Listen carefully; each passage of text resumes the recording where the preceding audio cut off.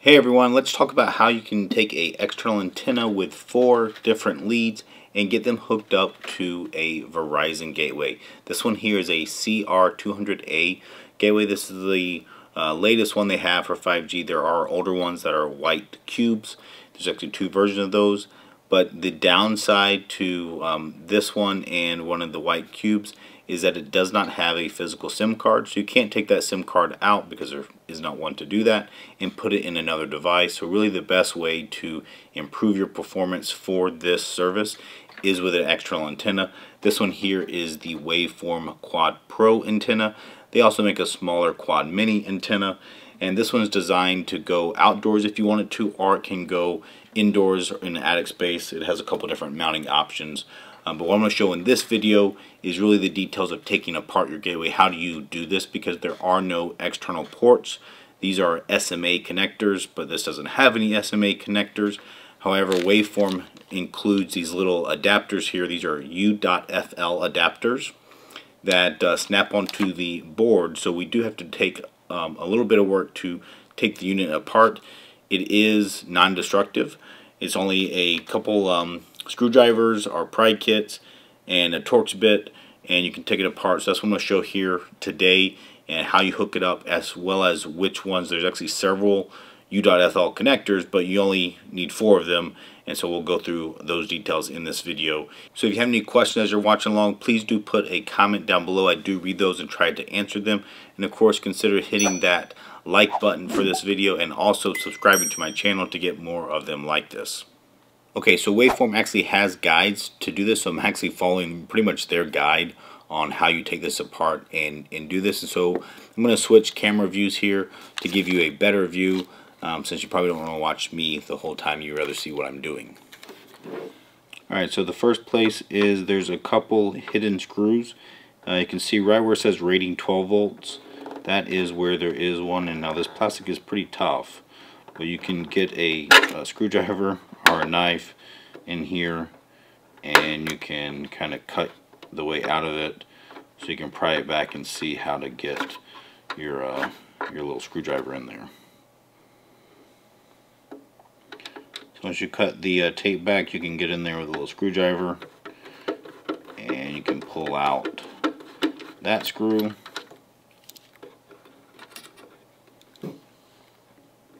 The next screw is down here by this SC logo.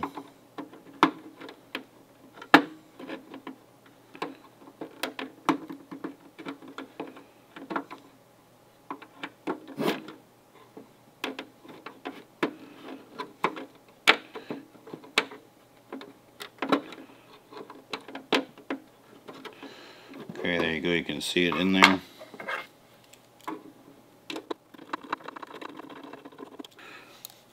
Alright, honestly that's probably one of the hardest parts of just getting to in those um, two places. Now we're going to pry out this um, bottom piece. This bottom grill comes out from the side of it. So you can buy actual pry tools if you want to be proper. I'm going to use the crude method which is just a screwdriver. Um, I'm going to risk marring up the, uh, the plastic by doing that, but I really don't care because I'm not going to use this. This is actually a purchased, um, a used purchased one, so I don't have to return it.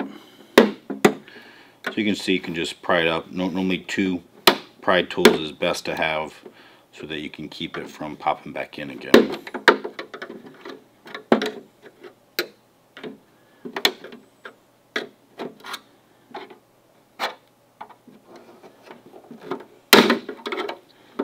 Once you kind of get one side going, you can just kind of go around and pry it up. It's a little easier with time.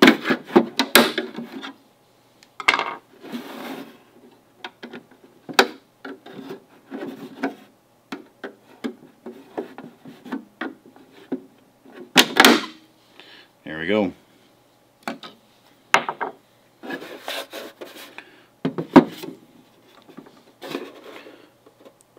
So now in here are several black Torx bits. It's a T10 that you take out. Now, I found this little Husky kit um, really helpful.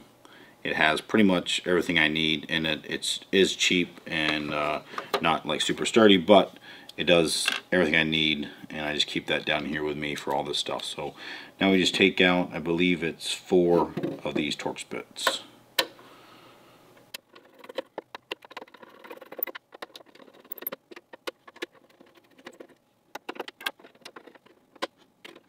Okay, once you have that out, you should be able to shake out the case from the um, the black insides.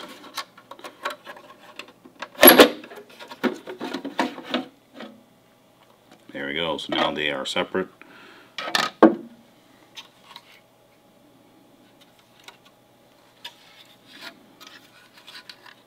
Alright, so now we can see on the side of the gateway we have our U.FL connectors. That's what all these ones are here. And really small print, but just up here you can see it says J1 on here. Up here it says J4. This one says J5. That one says J7.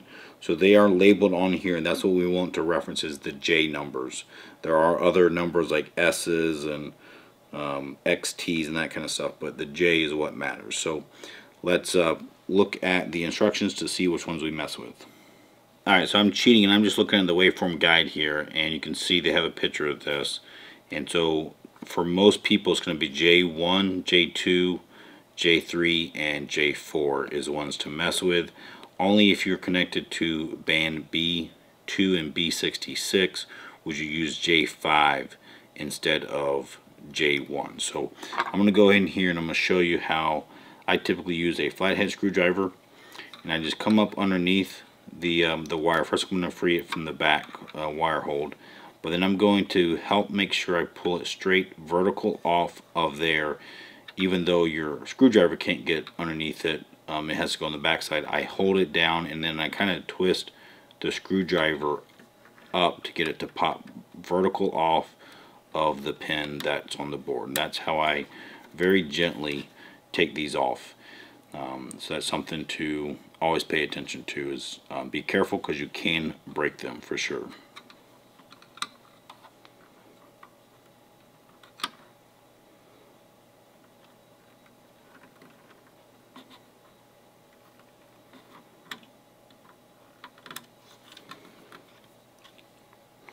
J1, J2.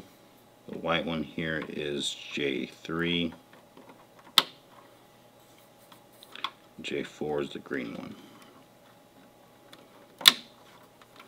Okay, so we got those off. Now I have all of my waveform supplied little pigtails and before I start hooking them up what I really want to do first is run it through the bottom of the um, the grill here because that uh, is going to go on and I can only get the small ends through so I want to make sure to go ahead and get that done here first. Alright, so I ran them through the grill here like this first and then I will start to do the attaching and I do want to label these as well. Alright, so now I kind of put them on the, uh, the same way where you want to just make sure that you are perfectly um, up and down. You're not coming at us at an angle and you aren't trying to uh, force them on. So I kind of find it where they self-center because it is a round thing and then I just try to work it on and see if I can press it straight down. If it starts tilting at an angle, I stop and retry.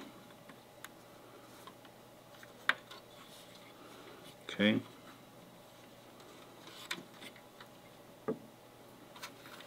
Now if it hurts your hand too much, you can use the flat end of a screwdriver bit to press it on, but again, you want to be careful with the pin.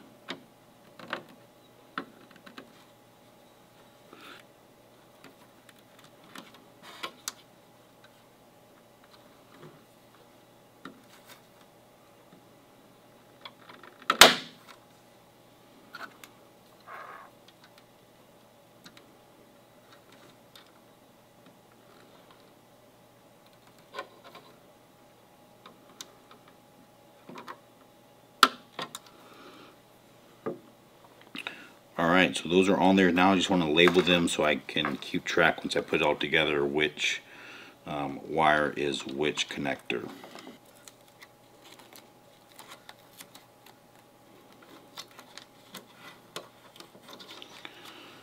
Okay, so now I have all of my connectors on. I've taped away the other um, antenna, the stock antenna cables just to keep them out of the way so they don't touch. And then now it's basically ready for it to uh, start to go back together. So I can just slide this cover back over. Obviously you want to make sure that your um, wires don't uh, get pinched or they don't get pulled out as you go through that motion.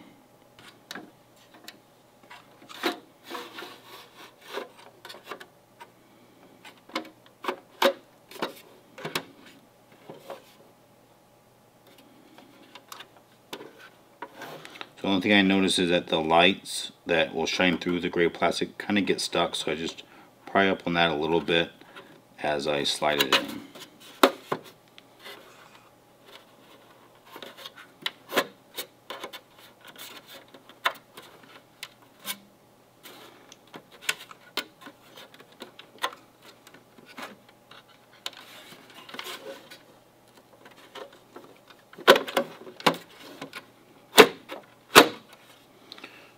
Okay, so now it's slid in and I can put the Torx bits back in.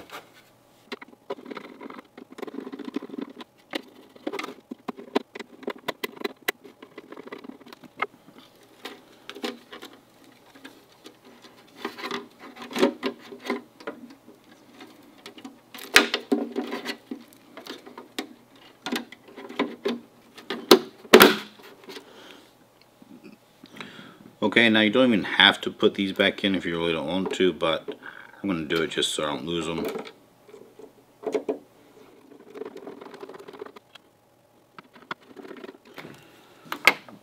Alright, there we go. Alright, so the antenna has labels from waveform as 1, 2, 3, and 4. And the recommendation for most people is to take your J1 and connect that to 1, but then connect J3 to 2, and then J2 to 3, and then J4 to 4. So that will work for most people. If that doesn't work well for you, um, there are some alternatives. You can, instead of using J1 from the gateway, you can use J5, and that J5 would still go to the antenna 1 port on the antenna. So let's plug it up and just see how much my antenna signal changes. Alright, so I went up to my third floor loft, and that's where I typically have all my gateways and that's normally where I get uh, close to my best signal as well without the antennas and then I have antennas typically in my attic about 20 or 30 feet away from them. And so I did the baseline with the stock before I put the pigtails on and that was a 4G LTE signal of 102 dB and a 5G signal of 108 dB. So and that's all that the stock gateway gives you as far as information. It doesn't tell you which band you're on. It doesn't tell you your signal to noise ratio, all your other stuff. It just tells you that signal strength. Okay, and then once I installed the pigtails and I put it on the waveform uh, Quad Pro antenna in the attic uh, with 30 feet of cabling connected right here, then that brought me from the 102 dB on 4G down to 91 dB on 4G and from the um, 108 dB on 5G down to uh, 99 dB, or actually all that's negative 99 number. So that is a significant improvement. That's what 11 dB and a 9 dB improvement uh, for both of those. And then since all that dB stuff is in the log scale, I think every 3 dB more, uh, more or less is about doubling of the signal strength. So that's several times better signal strength that the waveform is giving you versus the stock internal one. Now I did not do any speed test uh, for a couple reasons. One, as I mentioned earlier, I actually bought this as a used gateway specifically so I could take it apart. Um, and so it's not actually an active um, service or sim in there for me to do the testing, but it's nice enough to still me let me log in and uh, see the signal strength there. The other thing to note um, that's fair to note is that Verizon does cap or throttle their speeds based off your plan. If you have their highest plan, which I do on my other uh, Verizon gateways, I have their 5G Home Plus. it caps it at around 300 megabits per second download and about 20 megabits per second upload. They have changed those numbers a little bit over time, uh, so you might have to check your terms of service to see where you're at. But know that a antenna won't uncap or unthrottle your speed there. It will just help you get to that. So if you are getting consistently already those speeds, then an antenna by itself is not going to um, make you go higher than that. But um, if you have any questions, put them down below and I'll be happy to answer them. And also check out my channel. I have tons of videos about 5G home internet, home Wi-Fi, tech tools, the outdoors, all kinds of stuff. So thanks for uh, staying tuned till the end and I'll see you next time.